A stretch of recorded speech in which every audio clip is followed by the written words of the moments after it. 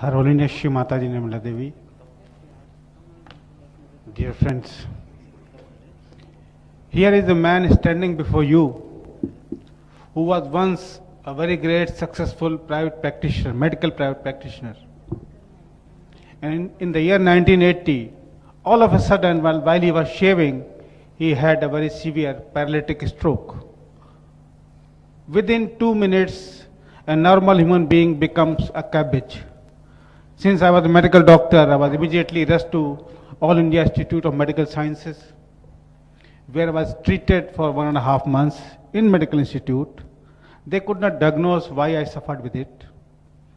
And then I carried on to go for my physiotherapy for 13 months regularly every day, which is on the record.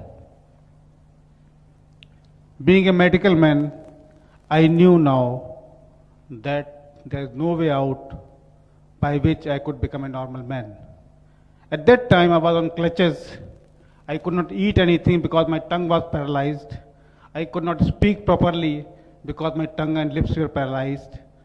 And on this earth, the truth is this I was just like an animal, just like I had nothing left in my life because being a medical man, I knew that now I'm not going to improve at all.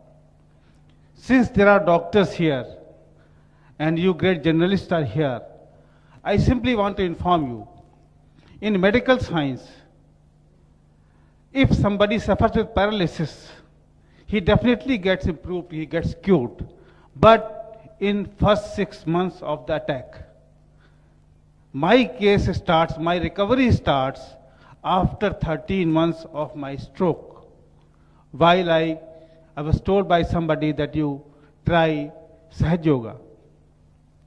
In the beginning, I did not believe it, but the day I met Sri Mataji, I knew that this is the truth. and from that day on, I am standing before you.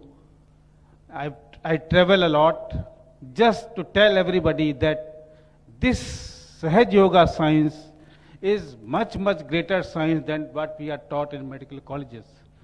Believe it, this is the beginning of the highest science on earth. Medical science, I simply give you one example, just very single example. Professor Rai is sitting here. He was the head of the department of Maulana Azad Medical College. He was the professor of physiology. His wife was suffering with migraine for the last 20 years. And all these doctors, they were giving her four tablets of Calmpose three times a day. 12 Calmposes were given to his wife every day. Look, he is one of the best medical doctor, at least in India, one of the. And he could not cure his wife. He had all the facilities and amenities with him, but nobody could cure her. And when she joined Sahaj Yoga, she has been cured. What I have to inform you very humbly, sir, don't believe me. I give an open offer to all of you, with the permission of my mother, Shri, Shri Mataji. I live in Delhi.